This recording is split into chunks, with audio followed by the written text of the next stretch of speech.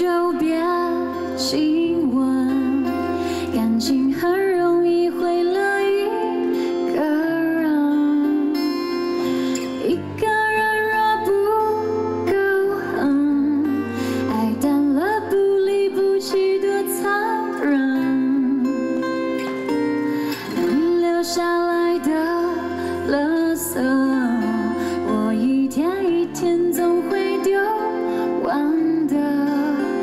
我甚至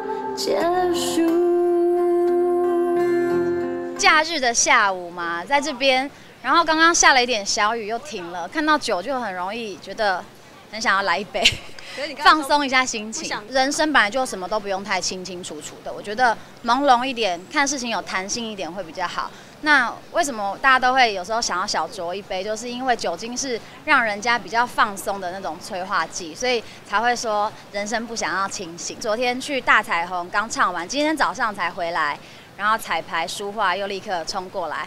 跟大家见面，可是很开心啊，因为有庆功啊，代表成绩很好，努力是没有白费的。不回应这些无无没有必要的揣测，那大家可以去看我的那个微博，那上面文字是什么意思就是什么意思。那如果你要多加揣测的话，那我也管不着。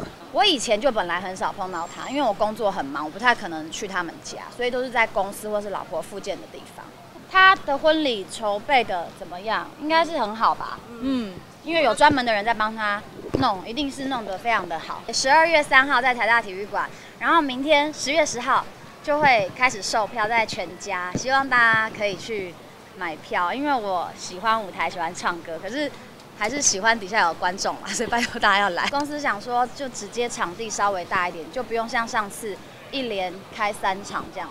小巨蛋哦，早进过了，所以没有特别的 一个人呢？一个人、嗯、还还好哎，就是可以去。如果有很不错的节目流程的话，当然不排斥一次让很多人听到我唱歌。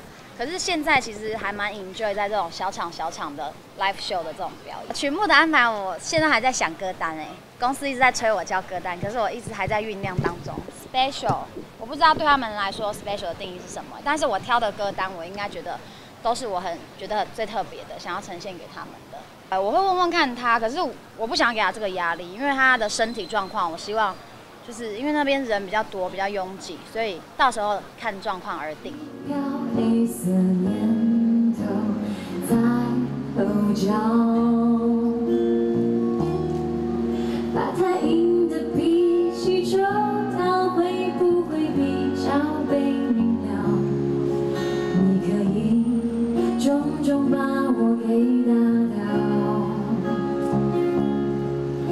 是想